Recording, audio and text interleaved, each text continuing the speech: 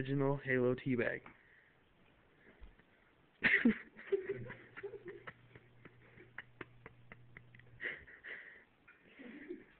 just, just let's get a close up on him getting teabagged.